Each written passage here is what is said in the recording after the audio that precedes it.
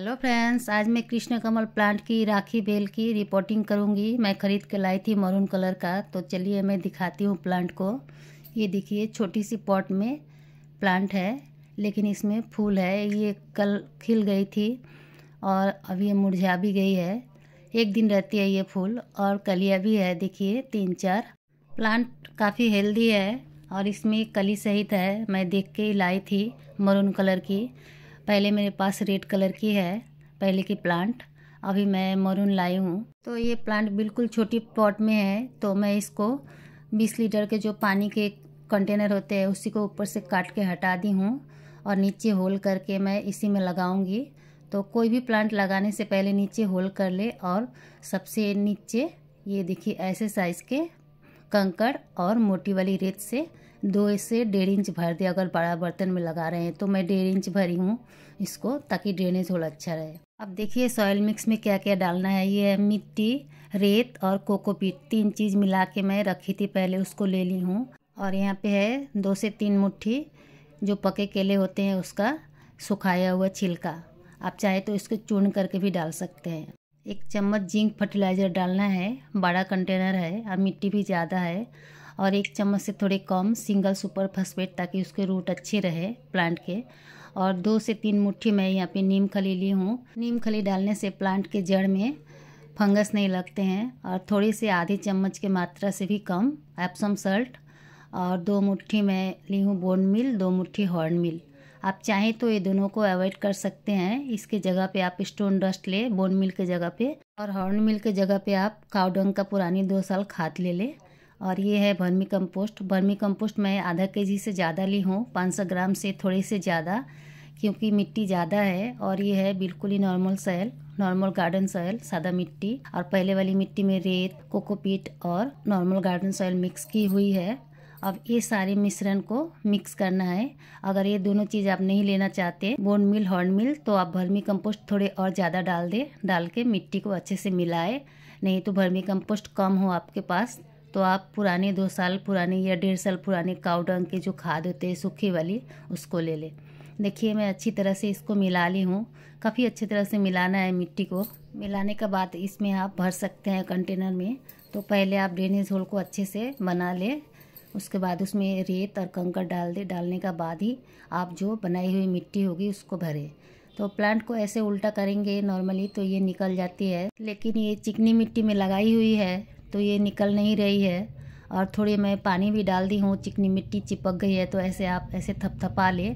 थपथपा लेने से ये आराम से निकल जाएगी। देखिए, ऐसे उल्टा करेंगे तो ये प्लांट निकल आएगी।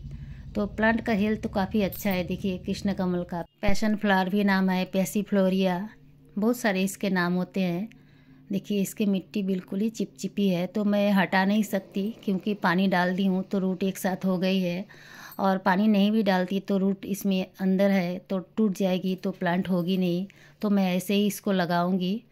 अब जब मैं ये अपना सॉइल बनाई हूँ, इसमें मैं रेत डाल दी हूँ तो इसके जो रूट आएँगे तो अच्छे से चल पाएँगे क्योंकि इसमें मैं रेत, कोकोपीटी सब मिला के लगाई हूँ, बनाई हूँ मिट्टी को। तो ये मिट्टी से अच्छे से प्लांट चल जाएगी और मैं रेत मिलाई हूँ मिट्टी में तो आगे चल के कोई दिक्कत नहीं होगी। देखिए मैं आधा से कम भर ली हूँ और यहाँ तक भरना है और दो इंच ऊपर खाली भी रखना है। तो ऐसे करके आप प्लांट को बिठा के देख ले। ज़्यादा नीचे तो नहीं जा रही है प्लांट अगर ज़्यादा नीचे जा रही है तो थोड़ी सी और बनाई हुई मिट्टी आप डाल दें। डालने के बाद फिर इसमें सॉयल मिक्स को भरें। जो बनाई हुई सॉयल मिक्स है, उसी को भर दें। देखिए, ऐसे करके भर देने हैं और प्लांट को बीचों बीच रखनी है।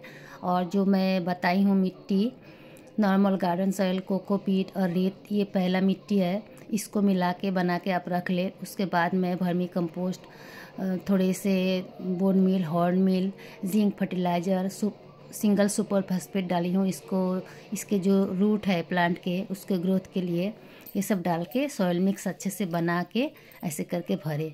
भरने के बाद हो सके तो आप ऐसे करके थोड़े थपथपा दे ताकि मिट्टी अच्छे से जाके नीचे बैठ जाए और पॉट में कोई एयर गैप ना रहे। इसके बाद मैं इसमें नॉर्मल गार्डन सेल डालूँगी। देखिए, ऐसे डाल दी हूँ मैं नॉर्मल गार्डन सेल जो इसमें कुछ भी खाद नहीं मिलाई हुई है, ऐसी मिट्टी मैं ऊपर से डाल दी हूँ करीब डेढ़ इंच, क्योंकि नीचे मैं खाद वाली मिट्टी बहुत ज़्यादा डाल दी हूँ।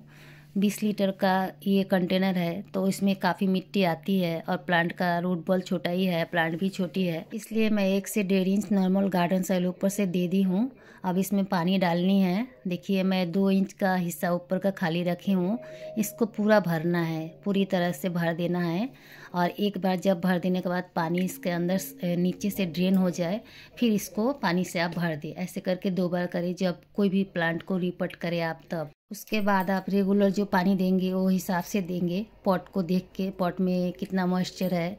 मिट्टी अगर गीली हो तो पानी नहीं डालना है। अगर मिट्टी मिट्टी अगर ऊपर से थोड़ी थोड़ी सूखी दिख रही हो तब पानी डालनी है रेगुलर वेस में। और रिपोर्ट करने के बाद आपको ज़्यादा पानी डालनी है। देखिए, मैं प्लांट को लगा ली हूँ। और ये 20 लीटर का कंटेनर में आराम से ग्रो हो जाएगी, बड़ी होगी। तो मैं आप लोगों के साथ फिर शेयर करूँगी। तो फ्रेंड्स, इसको मैं कल लगाई थी और आज मैं सुबह आके देखी तो और एक फूल खिल गया था, जो कली थी इसमें। वो फूल खिल गया है, देखिए कितने अच्छे लग रहे हैं। और जो पहले का कली है, ये सूख गई है, ये झड़ गई। और ये राखी बेल इसीलिए कहा जाता है इसको। इसके फूल जो है, बिल्कुल राखी की तरह दिखती है और इसका नाम इसीलिए राखी बेल पड़ा है। अगर आप कहीं लगा के इसको लटका देंगे या कहीं ऊपर चढ़ा देंगे, बेलनुमा प्लांट है तो इसमें खूब सारे फूल खिलेंगे। जैसे फ्लेम बाइन होती है, वैसे हम लोग कभी ऊपर चढ़ा देते हैं, कभी नीचे लटका देते हैं कहीं। ऐसे ही इसको भी करना है। तो ये काफ़ी सारे फूल देंगे। अगर आप ज़मीन में लगाते हैं तो ये बहुत अच्छे से ग्रो करती है। तो हमारे पास अगर ज़मीन नहीं है तो हम बड़े ऐसे बीस पच्चीस का कंटेनर या 50 लीटर का ड्रम में लगा सकते हैं तो अच्छे से ग्रो होगी। तो bye friends thank you please subscribe my channel